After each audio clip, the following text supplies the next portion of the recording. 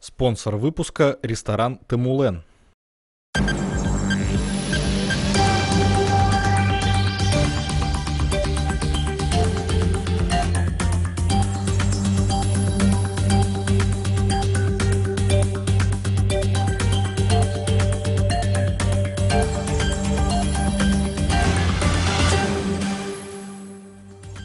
Этот день, в 1923 году, в нашей стране появился воздушный флот, главными задачами которого стали перевозка пассажиров почтой и разного рода грузов. С тех пор 9 февраля отмечают День воздушного флота России.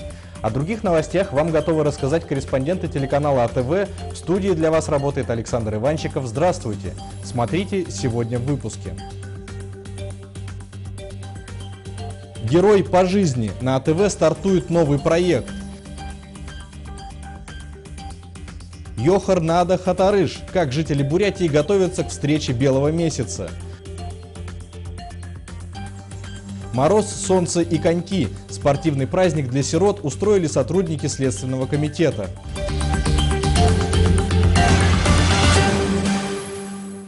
И начнем выпуск с главного события прошедших выходных. Конфликт в БГУ перерос в масштабную акцию протеста. В полдень воскресенья, несмотря на сильный мороз, на площади революции собрались по разным оценкам от нескольких сотен до полутора тысяч человек. И если в начале митинга его участники, как и в прошлый раз, требовали убрать из БГУ исполняющего обязанности ректора Николая Мошкина, то уже к середине со сцены зазвучали совсем другие призывы. Далее материал без комментариев сомнения отбрось и очистись от лжи, и дух свой монгольский, как знамя держи. Пусть путь твой к себе и непрост, и далек, не бойся за должность и за кошелек, по лужам блескучим беги босиком, пусть старые догмы летят ковырком, пусть вечное синее небо тебе поможет раба уничтожить себе. БГУ наш Сталинград, сдать его не имеем права, ни шагу назад! Спасибо. Судьбы вот таких, как э, Бурятский госуниверситет, э, их трудовые права э, решаются росчерком буквально одного, двух, трех человек. А есть статья 3 э, Конституции, которая говорит, единственный источник власти нашей республики и носитель суверенитета – это многонациональный народ Бурятии. И пора научиться с народом разговаривать, вступать в диалог. Мы глубоко переживаем за БГУ и хотим, чтобы справедливость торжествовала. И, конечно же, мы за честные выборы, за честно проведенные процедуры, которые отвергают э, высшие руководители. И мы хотим защитить свои права, права студентов, преподавателей, сотрудников всего Бурятского государственного университета. Единственное, что остался, это ВУЗ. И вот на сегодняшний день решили взяться за ВУЗ. Мне кажется, здесь должен каждый встать и уже вплоть до того, что требовать отставки именно Наговицына, э, правительства Голкова, Носкова, э, для того, чтобы вот эта, так сказать, политика, она больше не проводилась у нас в республике. Что это а что здесь происходит, Аркадий? Да вот пытается запретить, например, вот этот лозунг «Да долой Наговицына». Хотя это все в рамках э, разрешенного митинга, люди, то есть цели предполагают не согласие с политикой Наговицына. За, за нашу республику. Я хочу обратиться к митингу предложением, чтобы мы приняли обращение к президенту Российской Федерации о том, что он отозвал этого, ну не знаю, как назвать, приехал сюда обогатиться, разорить, уничтожить Республику Бурятия и потом уехать. Отозвать. Предлагаю принять такую резолюцию.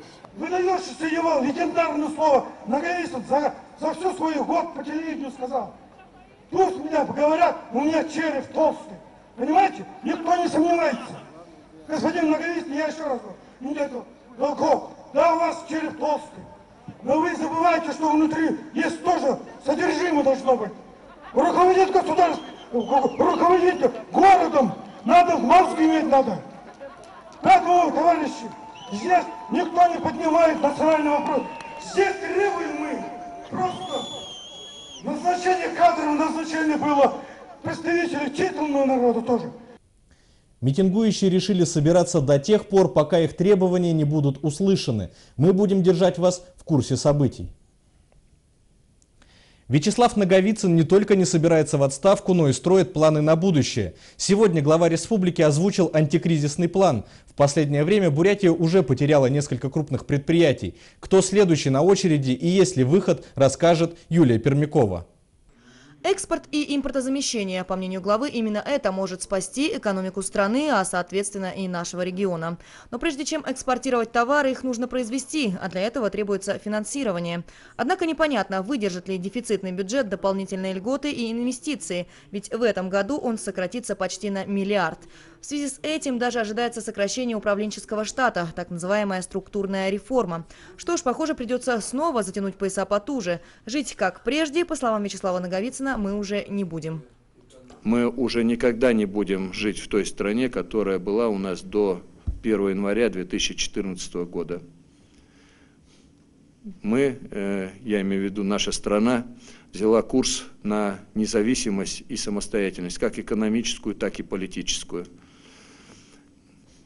те доходы, которые мы получали от нефти и за счет которых мы жили, а это было примерно 40, э, чуть больше процентов доходов э, консолидированного бюджета Российской Федерации, никогда уже не будут поступать в таком объеме. Даже если нефть поднимется там до 100-150 долларов, Рост безработицы, безусловно, потому что не э, все предприятия смогут справиться э, с той ситуацией, которая сегодня складывается. Какие-то предприятия закроются. Однако агентство занятости населения рапортовало, что пока беспокоиться не о чем. Ситуация на рынке труда остается стабильной. Стабильность пока сохраняется и в социальной сфере. Министр Татьяна Быкова заявила, что все социальные обязательства будут исполнены.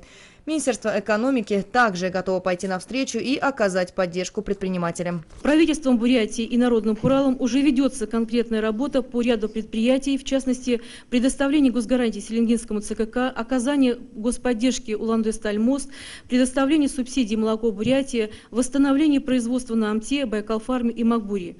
Если раньше на развитие агропромышленного комплекса страны планировалось потратить около 200 миллиардов, то с учетом нынешней ситуации, чтобы поднять экспорт, было решено добавить еще 50. Антикризисный план сегодня был озвучен впервые. Подписать его и, возможно, внести некоторые изменения главы ведомств должны до четверга. Юлия Пермякова, Вячеслав Батоев, Первая альтернативная. В 2015 году расходы на здравоохранение урежут. Республиканский бюджет сократит их на 10%. Это приблизительно 300 миллионов рублей. Такое заявление сделал министр Валерий Кожевников. Однако, по его словам, изменения коснутся только финансирования. На медицинских работниках это никак не отразится. Ни одного медицинского работника, будь то врачебного, среднего медицинского персонала, сокращаться не будет. Это даст возможность, напротив, перераспределения финансовых средств внутри экстренной службы. Кроме этого, министр озвучил несколько позиций, где необходима замена. Это касается медицинского транспорта и аппарата лототриптора, предназначенного для дробления камней в почках. На сегодняшний день эта техника нуждается в замене из-за износа. Добавлю, что помимо рабочих моментов Валерию Кожевникову задали вопрос о его возможной отставке, на что министр со стажем более 13 лет ответил, что сам покидать свое кресло не собирается, однако решение остается за вышестоящими органами. В отчаянии, именно в таком состоянии в нашу рубрику «Книга жалоб» обратилась жительница Улан-Удэ, которая столкнулась с бездействием правоохранительных органов республики. Женщину, по ее словам, обманул риэлтор и уже несколько лет он скрывается от нее. А помочь жертве никто не торопится. В ситуации разбиралась Наталья Домбаева.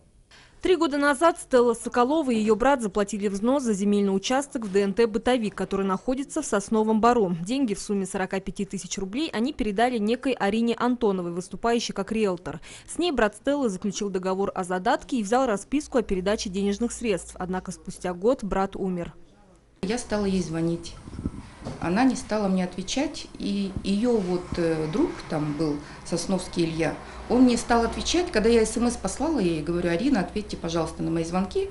У меня вот брат умер, нам бы надо решить проблему эту с деньгами-то или с участком.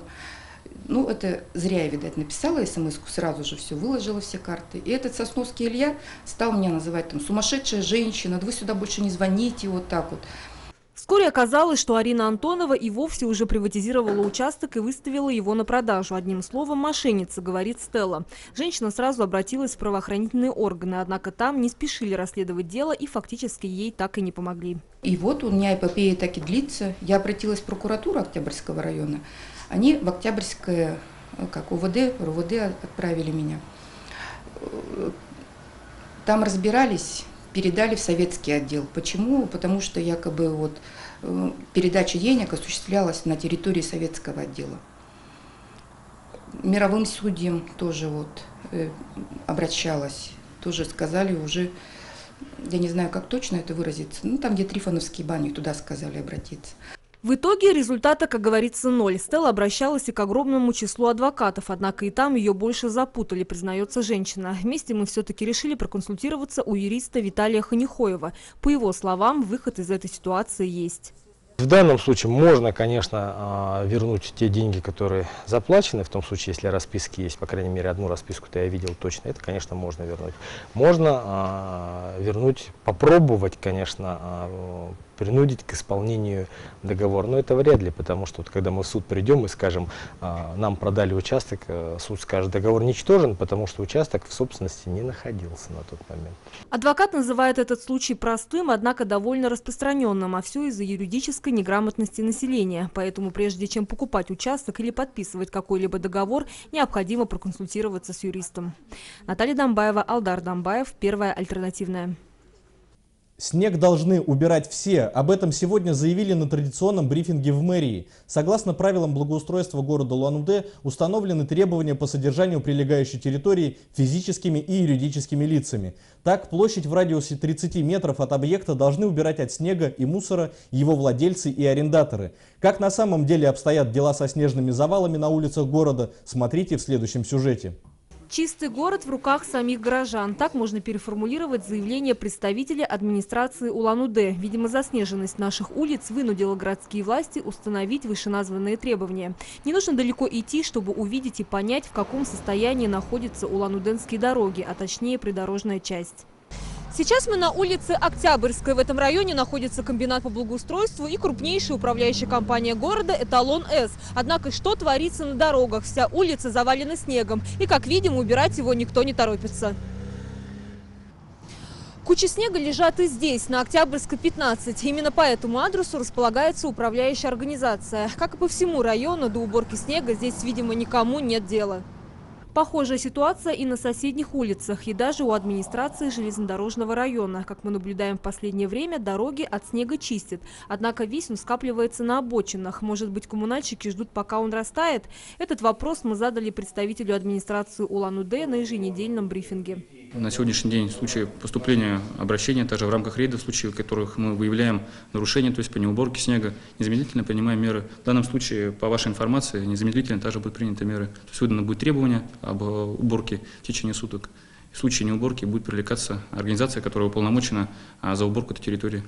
Так, за несоблюдение требований по уборке снега на ответственных лиц налагается штраф. Для юридических он составляет от 50 до 100 тысяч рублей. Обращаться по поводу заснеженной территории и ее очистки можно по телефону 21 04 14. Сотрудники отдела административного контроля обещают рассмотреть каждый случай. Посмотрим, кому влетит и вообще влетит ли заснеженный район ПВЗ в ближайшее время. Наталья Домбаева, Алексей Ионов, Вячеслав Батоев. Первая альтернативная. Предписание есть, а толку нет. Как в двух словах можно описать ситуацию с незаконно установленной рекламой? Напомню, на прошлой неделе к нам в редакцию обратились жители дома номер 12 по проспекту Строителей. Они жаловались, что на фасаде их дома незаконно разместили огромный баннер с подсветкой. На руках у жильцов было даже предписание комитета по архитектуре, выданное рекламному агентству, о том, что баннер нужно демонтировать. Крайний срок 1 февраля. Однако уже 9 а реклама по-прежнему на своем месте. Со слов жильцов, в комитете по архитектуре по загадочным причинам изменили свою позицию.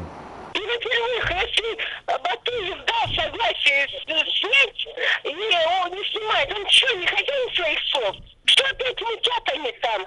В архитектуре. А что в архитектуре вам сказали? Говорят, мы с, с проверкой, сколько раз они с проверкой будут приезжать? Надо то, надо другое, надо третье. Дала справку, что я действующий председатель Совета Дома. Так к этому еще, к этой справке надо еще пять справок. Жильцы уверены, что теперь комитет по архитектуре и рекламщики в сговоре. В комитете эту информацию опровергли. Единственная причина, по которой баннер до сих пор не снят, это некие технические проблемы. Мы аннулировали разрешение, выдали 29 декабрем предписание об осуществлении демонтажа, где установлен 30-дневный срок на осуществление демонтажа. Ну да, время прошло 30 дней. Но у меня под рукой нету бригады альпинистов и вышки своей для того, чтобы поехать и произвести самому лично демонтаж. Работа ведется для того, чтобы произвести демонтаж. Мы ищем сейчас, либо будем ну, собственника понуждать произвести демонтаж каким-то способом, либо ну, будем искать подрядчика. Так что предписание есть, а толку действительно нет. Сколько еще незаконно провисит этот баннер на фасаде жилого дома, никто ответить нам так и не смог. А городские чиновники еще раз доказали, что они хозяева своего слова. Хотят дадут, хотят возьмут обратно. Сегодня полицейские отчитались за проделанную работу с начала года. Сотрудники МВД рассказали журналистам, что за месяц по Уланде за появление в состоянии алкогольного опьянения в общественных местах было привлечено к ответственности более одной тысячи человек, задержано около 850. В прошлом году за январь полицейским удалось задержать почти 700 пьяных уланденцев.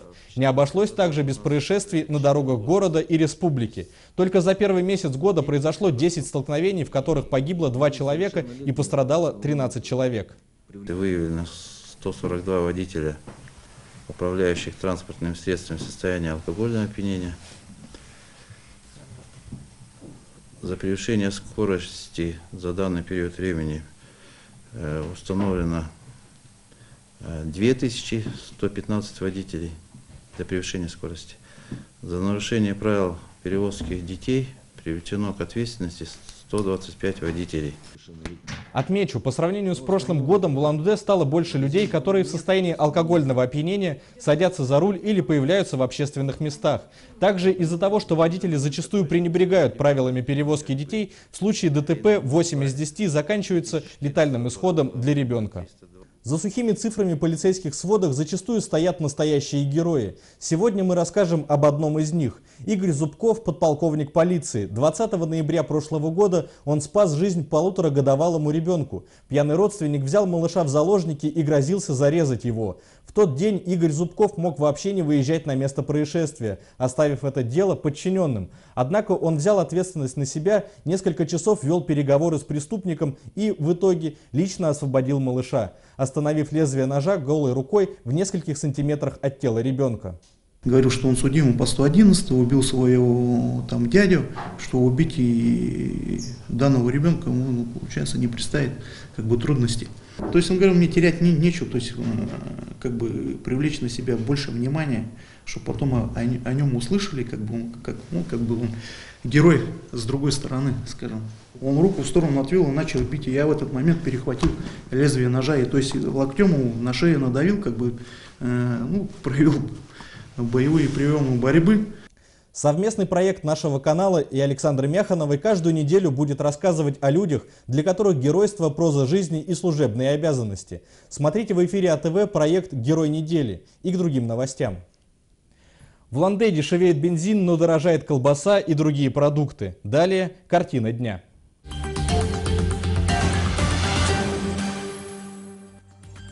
Газа не будет. Сенатор от Бурятии Арнольд Тулоханов объявил о том, что переговоры с «Газпромом» о строительстве газопровода «Сила Сибири» по территории Бурятии окончились неудачей.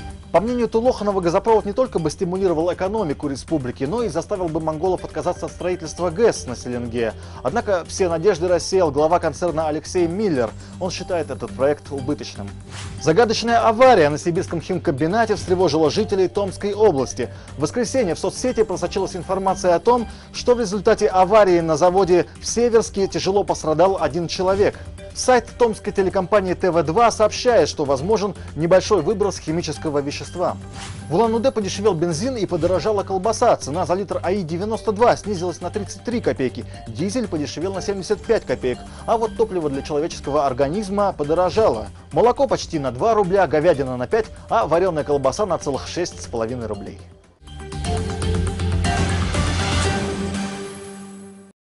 В дни празднования Сагалгана в Ланде на Театральной площади уже традиционно станцует глобальный йохар. Глобальный, потому что к ланденцам в этот день присоединятся жители других городов России, а также уроженцы Бурятии, находящиеся за рубежом. Да, первый раз мы проводили, буквально было несколько районов, значит, и якуты поддержали, буряты, в смысле, да, диаспора наша, Якутске, Мирном, в Нерюнгре, в Москве, в, соответственно, Агинск, Чита, Иркутск, Сарда, да, вот так вот начиналось вот так, таким образом, да, а сейчас вот на сегодняшний день география начинает от Японии, кончая Канадой.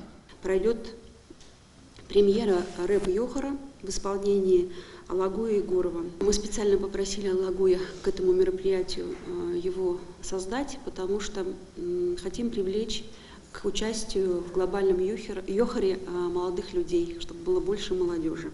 Специально к празднику на базе театра Ульгер с 13 по 15 февраля будут проводиться мастер-классы для желающих научиться танцевать бурятский народный хоровод. Глобальный йохр состоится 19 февраля в 16.30 на площади у театра оперы и балета. И к новостям спорта. Уланде присоединился к всероссийским массовым стартам «Лыжня России». 8 февраля на Верхней Березовке состоялись 5 забегов. Самые маленькие лыжники бежали 350 метров, остальные – 2015. Более подготовленные юноши и девушки испытали себя на маршруте протяженностью 5 километров, а мужчинам и женщинам предложили дистанцию в два раза длиннее. Продолжение темы смотрите далее. Мороз и солнце – день чудесный, выдался для всех любителей лыжных гонок. В лыжне России по всей стране приняли участие порядка 700 тысяч человек из 71 региона. В Улан-Удэ на старт массового забега вышло около 3000 участников. Лыжня будет быстрой, и сегодня вспоминают победы сборной России на Олимпийских играх. Но все большие победы возник... Все большие спортсмены выходили именно вот с таких маленьких соревнований. С лыжней России, с республиканских первенств, первенств районов. Поэтому сегодня я думаю, что вот кто-то здесь может быть будущий олимпийский чемпион. Пробежать по трассе решились не только профессионалы и любители, но и политики и даже военные. Тем, кому повезло больше, достались шапочки с символикой мероприятия. А для того, чтобы разогреть участников, организаторы приготовили танцевальный номер, после которого и прозвучал сигнал на старт.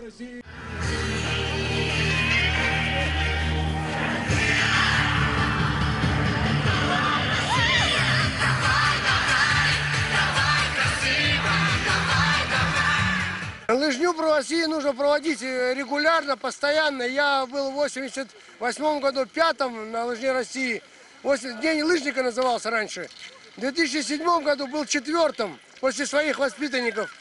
И считаю, что это нормально. Важнее забег, где участвуют действующие спортсмены. Они побегут 10 километров.